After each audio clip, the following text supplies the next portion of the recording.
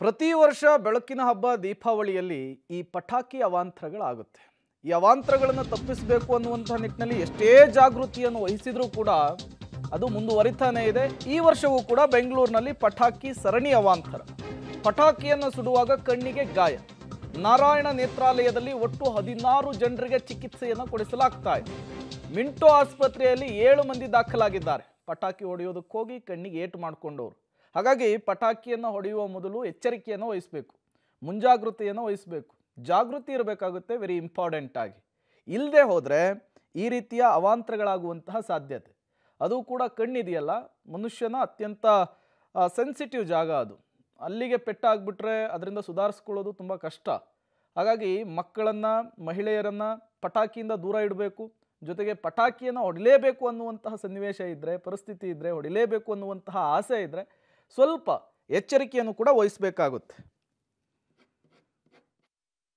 ರಾತ್ರಿ ಎಂಟು ಗಂಟೆಯಿಂದ ಬೆಳಗ್ಗೆ ಎಂಟು ಗಂಟೆವರೆಗೂ ನಾಲ್ಕು ಪಟಾಕಿ ಇಂಜುರೀಸ್ ಬಂತು. ನಾಲ್ಕು ಪಟಾಕಿ ಗಾಯಗಳಿಂದ ಗಾಯಗೊಂಡಿರುವ ರೋಗಿಗಳು ನಮ್ಮ ಆಸ್ಪತ್ರೆಗೆ ಬಂದು ದಾಖಲಾಗಿದ್ದಾರೆ.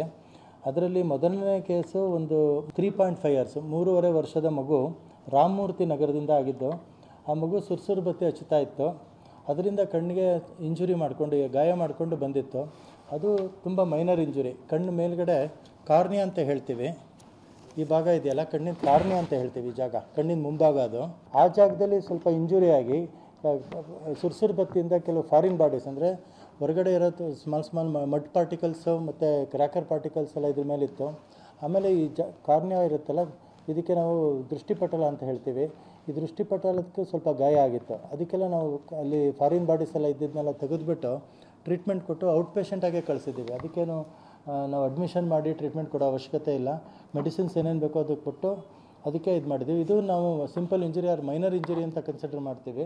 ಈ ಈ ಪೇಷಂಟ್ ಬೇಗ ಮಕ್ಕಳೇ ಅತಿ ಹೆಚ್ಚಾಗಿ ಈ ರೀತಿ ಗಾಯಕ್ಕೊಳಗಾಗಿರೋರು. ಹಾಗಾಗಿ ಪಟಾಕಿಯನ್ನು ಮಕ್ಕಳಿಗೆ ಕೊಡುವ ಮೊದಲು ನೂರು ಬಾರಿ ಯೋಚನೆ ಮಾಡಬೇಕು. ಪಾಲಕರು ಜೊತೆಗೆ ನಿಂತೇನೆ ಪಟಾಕಿ ಹೊಡಿಸುವಂತಹ ಕೆಲಸವನ್ನು ಮಾಡಬೇಕು. ಅದಕ್ಕಿಂತ ಎಲ್ಲಕ್ಕಿಂತ ಹೆಚ್ಚಾಗಿ ಸೇಫ್ಟಿ ಮುಖ್ಯ ಆಗುತ್ತೆ. ಹಾಗಾಗಿ ಪಟಾಕಿಯನ್ನು ಹೊಡೆಯುವ ಮೊದಲು ನೂರು ಬಾರಿ ಯೋಚನೆ ಮಾಡಿ ಎಚ್ಚರಿಕೆಯನ್ನು ವಹಿಸಿದರೆ ಈ ರೀತಿಯ ಅನಾಹುತಗಳಿಂದ, ಅವಾಂತರಗಳಿಂದ ದೂರ ಇರಬಹುದಾಗಿದೆ.